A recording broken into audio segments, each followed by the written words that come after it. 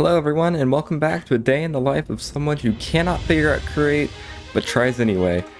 And I have something really cool to show y'all. So obviously we're in a room right now with all our create stuff, but if you look down there, that room's different. There's an actual room there now. It's not just the end of a hallway. And uh, it's because I finally figured out what I wanted to add. Might guess what it is? It's a mob spawner, but look. So there's light in there. You're probably wondering, why is there light in there? Well, it's so that the farm is off, and you're probably also wondering, how'd I get it in there? Yes, you're not supposed to be able to move the mob spawners. Well, guess what? There's a little secret. With the create mod, you can use minecarts to just kind of push them along and move them. So that's exactly what I did. I took it from the depths of our mine and I brought it up here and I made a little mob farm out of it. And I made a little on and off switch. So if I crouch and I spin this, the lights turn off and spider spawn, which somehow occasionally brings the skeleton with it. And then if I not crouch and I turn this back the way it was, I kill these real quick, you'll see the lights are back on. So I won't have a lag machine. in between episodes, I have also, as you can tell down in my hotbar, gotten some diamonds and built us another portal. Well, a deactivated nether portal I wanted to make it look kind of like a fireplace. A fireplace to another dimension, so that's what I did. I built a little smokestack that just peeks out of the ground, and we have our nether portal right here. And just for a quick reminder, for those of you who don't know, we need the nether because the door I want to make needs quartz combined with redstone to make rose quartz, and rose quartz is needed for so much stuff that I need here. I also need a blaze furnace, I think is what it's called, so I can make brass, because some of the components that I need for this door also use brass. So let's hope we don't spawn too far from a uh, another fortress. But I think this looks pretty cool for another portal. Definitely fits the style that I've been going with this entire time. And I guess there's nothing else left to do except for go in and figure out what we see. I seem to have encountered a purple land. Huh. Is this place dangerous? Ooh, yes, it is very dangerous. Interesting. It's very hard to see in this place but it is very cool. What in the world is that? I don't want to find out. You know what? We came here for this, so we can make the little blaze thing. I want to get some glowstone while we're here. And we also need to find a fortress, which I don't know if that'll be completely possible considering our current situation is extremely hard to see. Okay, so to craft the blaze furnace, we need this and these four. And we get, oh, it's a blaze burner, not furnace. So we need that. And then I believe we just need to go find a blaze and capture it in here. So let's go back in. I think our best bet is to dig towards the nether roof and just use our map to kind of see if we spot any difference in what spawns. Because I noticed a bunch of these structures, but uh, I don't know how easy it's going to be to actually spot ourselves a fortress. We also need to try and find some quartz, because I need quite a bit of that as well. This seems like a good plan to me. Nothing can go wrong, right? Hopefully. Yeah, I think our mini-map's gonna be our best friend for the time being. Maybe we'll even find another new biome. Hopefully that isn't as foggy and hard to see. Yay, okay, so we found quartz. So let's grab that. That was one of the things we came here for. Now, now to just find a, uh, a blaze. So I have just recently found out that there is one other place we can find blazes that is not in a uh, nether fortress, and it is the Ember Bog. So we either need to look for a lot of yellow or a building. This should be fun. Y'all see what I see? I see some very sharp corners, and it looks like hallways. That means that we are super close to another fortress. And it means we don't have to enter super scary biome. All it means is that we somehow have to get down there without falling and dying. And also get a blaze into this thing. Which honestly kind of looks cool. Might make more of them just for decoration purposes, to be honest. They kind of look like they would go on uh, on top of fireplaces, or not fireplaces, on top of chimneys. My best guess is that there's a blaze spawner maybe there, maybe there, maybe there. So I think we're gonna go and aim for this one because I think this is gonna have the best bet for a blaze spawner. And to be honest, we don't really need to find a blaze spawner, but it's gonna be the easiest way to get to a blaze. Probably need to start digging down right up around here. Looks like we are up in a secluded part of it, so that's good. Won't have as many creepy crawlies to deal with. I'm not exactly sure how this works. I think I just place it down and it and then the blaze walks into it and gets captured. We just gotta get over here and kill one of them. Okay, and I think it's just place it down. Kind of maybe push it in. Okay, so I'm just apparently little, little stupid. So let's kill this one.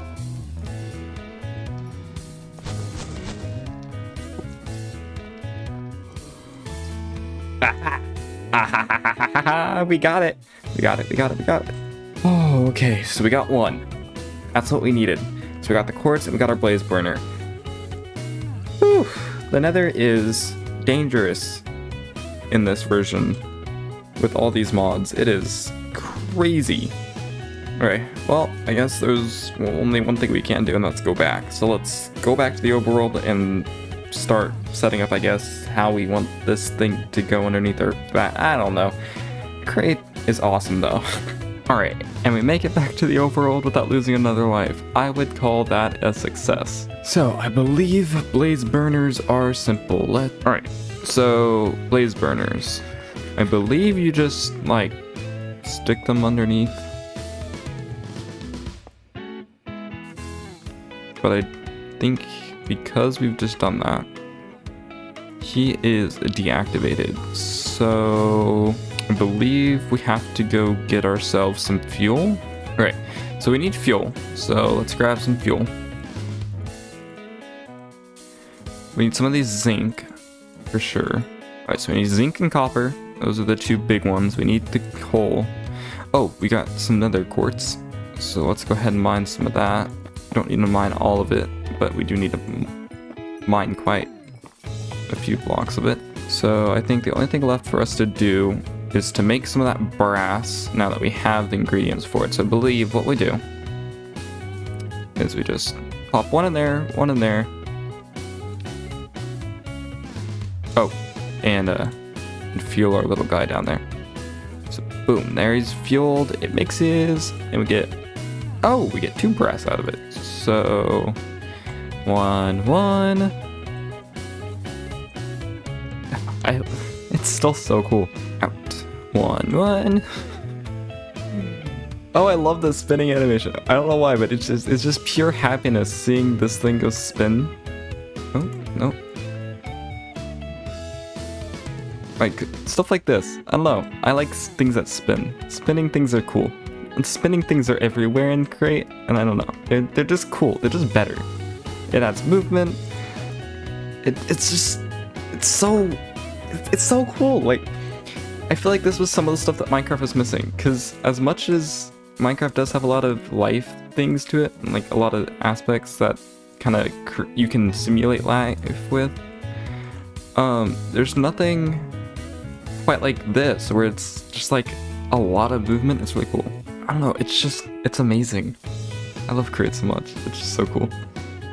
And now we also have stuff like that. Oh, it would appear a little buddy has run out of fuel. There you go. And we're making a lot of this, because even though I don't need all of it right now, I know I'm going to probably need it in the future, and I don't want to be doing this uh, quite a lot later on. Obviously, we'll have it automated by then. But like, come on. You, you can't tell me this isn't cool. Like, this, this, this, there's nothing quite like it. I believe the block for brass also looks pretty neat. Like, if I'm not mistaken, it looks pretty cool. It's like a different kind of shade, but it looks kind of like copper. I have to make one just so I can show y'all. Looks like we're almost done here with our brass making. Just got our last one. And then we can go start building all the components for a door. Oh, I'm so excited. Okay, so there's the last brass we needed. We can put the rest of the fuel back in our little furnace over here. Let's grab all the stuff for the door. Yes, I have a chest full of stuff for the door. That's how long that this thing has been sitting here, that I have a whole chest for it. Um, okay, so for these brass casings, I believe it is the same thing. We need strip wood. And you just place this down and... Cool. Okay, so yeah, it's the same way as the uh, andesite stuff. I also want to make one brass block for y'all, because it's like a mix between copper and gold. But to be honest, it looks more like gold than the actual gold block. It's kind of strange, but I think it could be used in pretty cool gradients with gold to make like gold piles with kind of shimmering gold and not so shimmering gold. I think it would be cool. Um, okay, so we need three of these, but it looks like it gives us two each. It's just a redstone torch and a brass casing. We can do that easy. We just need some of that for something else. We need two torches, the two torches, two of these brass casings, and we got four of these. We only need three of them. Uh, you know what? I'll put them in my create chest. Yes, my create chest is growing. There's so much stuff in here that has to do with create. Um, and then let's see what else we need. We need one of these sequenced gear shifts, which uses electron tubes, which use iron sheet and polished rose quartz, and the polished rose quartz is made from rose quartz, which is made from quartz and red dust. Okay. Oh, that was quite a bit of crafting. We should probably craft quite a bit of this as well. There's a lot that uses these uh, quartz, these special quartz. And uh, they are pretty neat. Okay, so we need to press down, let's make five of them just in case. We need to press down some iron. So plop that in there and watch it press. I think this is my favorite part. Like, once it's automated, just watching everything go, I think is going to be my favorite part. I don't want to hide it behind walls. I want to see it do its thing. Like, it's just neat to watch. So we have that. We have our quartz. We can plot this on top of the sheet, right? Is that how you make it? Oh, we have to sandpaper these. That's what we have to do. How do you make sandpaper? Paper and sand. Well, I guess I should have seen that. Do I not? I don't have any sand. Well, let's go get the paper then. So we have our piece of paper. How do I not have sand? Who does not have sand? I, I live right next to a river. How do I not have any sand in any of my chests? I think I failed as a river goer.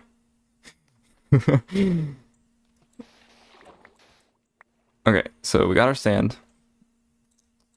Paper, sand, sandpaper. I'm just gonna make three of these because I know that these are used quite often. So what do we do? We hold that, we hold this, and then...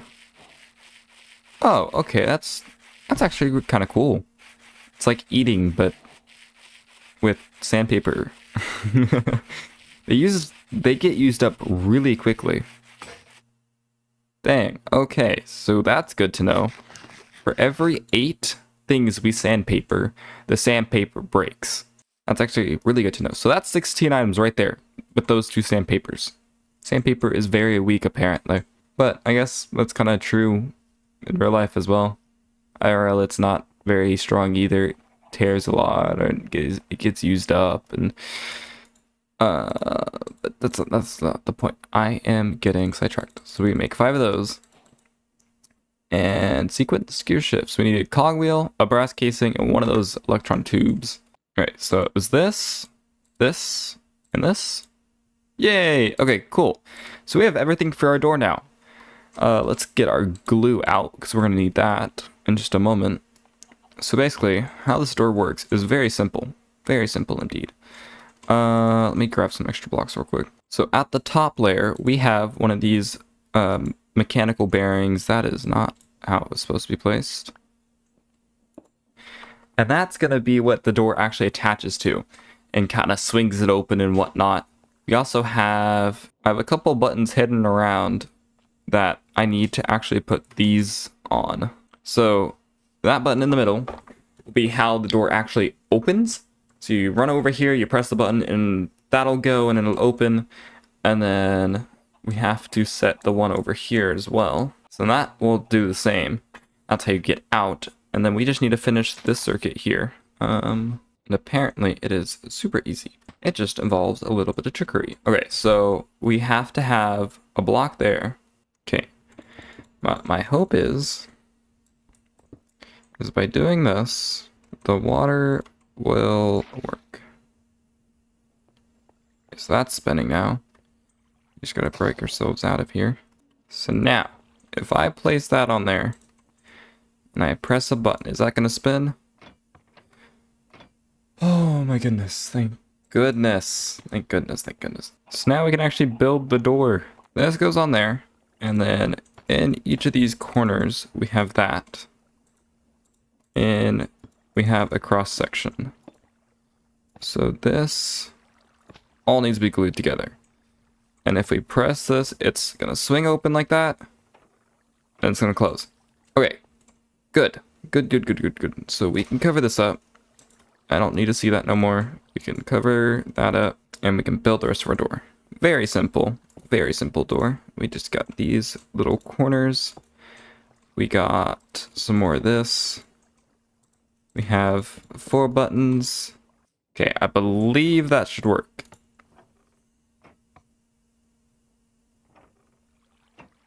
I stand corrected. Okay. All right, so now that should all be connected.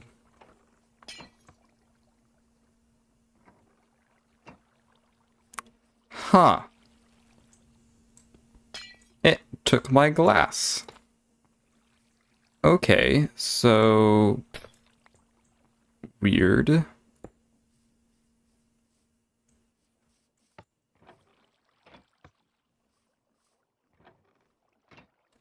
That should not be happening. So now I can press that, run inside, and it closes behind me. And I can press this, it opens, I can walk out, and it closes. Oh my... Oh, this is this is so cool. This is honestly so cool. I love it so much. It's a door that works. I can walk in, it closes behind me.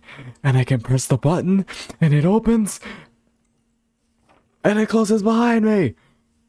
And now we actually have a vault door to our thing. Like, it's completely secure except for the button. But, you know, zombies can't press a button.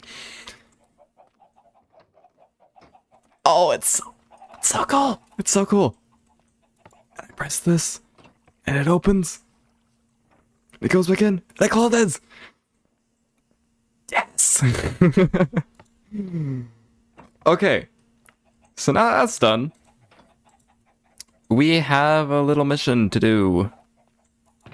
So that was the main thing I wanted to get done. Uh, but there is another thing I want to get done. Or at least start on. So, we have this thing called iron. Iron's very useful. Iron's very important. But you need iron farms. And while iron farms are easy to make, especially since we have a villager, I don't want to build your average run-of-the-mill iron farm. Mm-mm, no. Since iron's so important, I want to extend this hallway down into this nice big open room and have our iron farms. Four of them. Yes, that's right. Four on the floor with like the scaffolding running across. I want to extend this hallway and see all the iron farms on the ground doing their thing. I think it'll look so cool, and it'll be like the center of, of this next little area, considering everything kind of needs iron at this point. So much stuff needs iron that I think it's important enough to make it like the centerpiece of the, I guess, factory floor. So I'm gonna quickly extend this hallway, and I'll meet y'all back later. So we have this place dug out, so I guess the next step is to decorate it so that it's not just a bunch of stone. Alright, so here it is all decorated. We have the walls, the ceilings, the floors, and this little walkway decorated, and I've even gone ahead and marked out where the four iron farms are going to be. And if I scroll over the schematic, you'll see what we're actually building. So it's four of these, plus I'm to add a little thing that kind of compresses the iron to actual iron, because it'll go to be nuggets there, and then I have to separate the uh, the nuggets from the flint and then compress the nuggets into actual iron and then put them into a storage thing. I think I've decided that there's going to be one storage chamber here, another one over here. That should suffice for enough storage. And then we're going to have some chests that kind of shoot up and land on this platform. I'll also have like a turn off switch of some sort so that we can stop this. The, there's going to be a certain process up here that is running in all four of these corners. And so I'll, if I hit the button, what it'll do is it'll retract pistons that are holding one of the blocks, which will stop the spinning motion, which will stop the whole process. So that's my thought process behind that. And uh, I guess the only thing for us to do is actually like build these. So I'm gonna get going to doing that and I'll see y'all in a bit. Woo! It, uh, it's done and it's completely functional and it looks really cool. So this is basically the process. You have that that drills, and then let me just walk down here for a moment. So that drills, then it gets dropped down here. As you can see, it drops down as gravel. The gravel moves along and it gets washed by this fan blowing water at it, turns into either flint or there's a chance that it turns into iron nuggets, which is what we're truly after. So let's see if this one... Oh, that one just disappears. Oh, that one too. Okay. Let's see. Well, one of these... Alright, so there we go. One of the gravel turns into an iron nugget. That iron nugget travels along this belt, goes into this chest, and then it actually will get sorted. So this way the flint goes, this way the iron nugget goes, the iron nugget gets tossed into there with some of the other ones. And eventually it will get pressed down with a bunch of other iron nuggets, turned into an, uh, one of these iron ingots. And I'm just gonna put that on there so you can see what it does. And so this will travel along, and eventually it'll reach this. So now it's reached this one. This one will bring it all the way over to there and put it into our only storage container, because those things are actually really expensive and I did not realize it first. But yeah, so now we have this storage container. And any andesite that reaches the storage container just gets pushed out here and thrown into lava. While the iron goes over here and gets pushed up this chute and into that barrel. So even though it's not the most efficient way to get iron, I think it's a pretty cool way to get iron. I think it's super fun to watch. I think it adds to the aesthetics of this build, just having like these machines over here. So I think it's super cool. And of course, we can always come up here and grab some iron. Um, but I kind of got sidetracked, I will admit. While I was building, I got super sidetracked by this. That's right, a helmet. Oh, and this. Oh, and, and this. they have a potato cannon. And I did not realize that first. And oh my goodness, is it so cool? Because I, I was had a, ch a chance to uh, enchant it. And let's see if we can get this these pillagers. Basically, you can shoot carrots or potatoes. And if you have fire aspect on it, it shoots flaming potatoes or carrots. Like, how cool is that? Not a very good shot at it. But this thing is just, it's crazy. It's, it's so cool. Oh, and because of the tank I'm wearing, I have water breathing right now, so that's pretty cool as well. Boom, just killed two pillagers with carrots. this thing's so fun. And it makes a funny noise. It goes thump. um, but we do have one thing. Since we're running out of time, there's one thing I want to do that I did promise y'all. Don't worry, I didn't forget. Uh, we have signs to place over at Dragon Girl's base. I posted a short about a week ago saying something along the lines of a subscribe would equal two signs and a like would equal one. And so we have 11 signs with us and let's head over there. All right, so here we are at the base and uh, we have signs that kind of fit their theme. I think we're gonna put them right underneath here. So all the signs say the exact same thing. They all say we miss you. Um, for those of you who don't watch her channel, she actually posted something and is leaving. I'm not sure what she's doing, but she's uh, gone from the server. And uh, she started the server. So we're going to be playing on the server for as long as we possibly can because I love create. If it does get deleted, then we may be moving everything and I'll make sure to copy over everything over there onto the new one. But um we're going to be playing on this one for as long as we possibly can because this is a pretty neat world and I think it has some good stuff going on. I'm not the only person who plays on it. So, yeah. That's just kind of the current situation, but but there are backup plans just in case. And uh just wanted to say if y'all enjoyed the video, please like and subscribe. It's very much appreciated. And uh, I'll see y'all next time. Bye. with the with the face mask. Goodbye. Bye.